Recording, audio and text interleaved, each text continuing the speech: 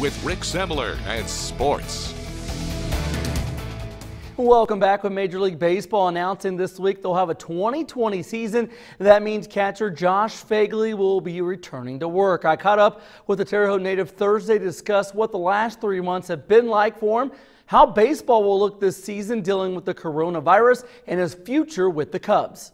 With the coronavirus pandemic shutting Major League Baseball down in March and freeing up the last three months, players like Josh Phegley said it took a while getting used to the downtime during the spring and summer months. I've never been home in June, you know, in the I mean easily in the last 15 years. So uh, it's been nice to slow down and have some time with the kids and, and get some stuff done around the house. Despite several failed talks between MLB and its Players Association, Phegley said he always knew there would be a season this year. Everybody loses if we don't play, but I think just for normalcy and, and for everyone in the country, you know, baseball fans and everyone, like we need the game to come back. Baseball will still have balls and strikes, homers and great catches, but when the game returns in July, there'll be several changes because of COVID 19.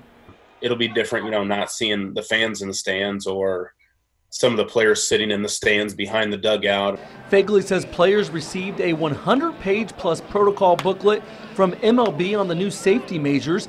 He says the hardest thing MLB players are going to have to get used to is social distancing while playing. Baseball guys are close. Um, we like to kind of mix it up and enjoy like each other's company and like competing together. And, you know, the handshakes are a big part of the game and seeds and, and a lot of this stuff, you know, we're all going to have to kind of be spread apart. It's going to be a, a different feel.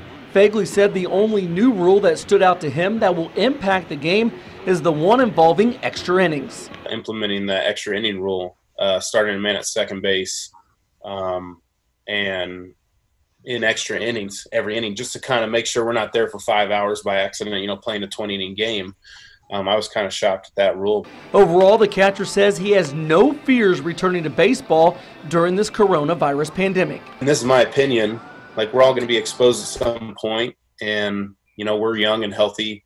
Um, and right now, I feel like there's a lot of energy put into dealing with the virus and, and treatments and things like that. And uh, in my career, there's no better hands to be in than a Major League Baseball medical staff. So if I'm going to be exposed and and have to go through it, you know, to have that staff and that that support team behind me is probably the best place to deal with it. One thing is playing in Phegley's favor. For the first two weeks of the season, MLB teams will be allowed to carry extra players.